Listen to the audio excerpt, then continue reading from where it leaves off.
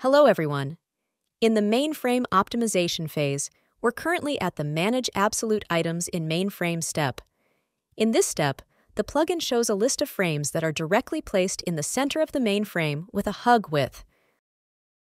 Let's examine frame 3, which is similar to the frame above. However, frame 1 is not included in the list. It is positioned exactly in the middle of the mainframe, but this is because its width is set to fixed and is equal to the mainframe's width. Let's fix it manually.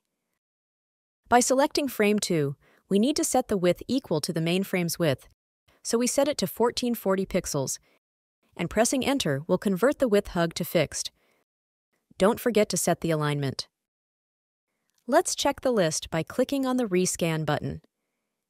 As we can see in the update list, frame 2 is fixed now. OK, Let's bring frame 2 into the list again by setting the width fixed to hug. Now, click on the Rescan button. As we can see, frame 2 is listed again because its width is shorter compared to mainframe's width. OK, let's fix it again and click on the Fix Manually button. We will fix frame 3 in the same method.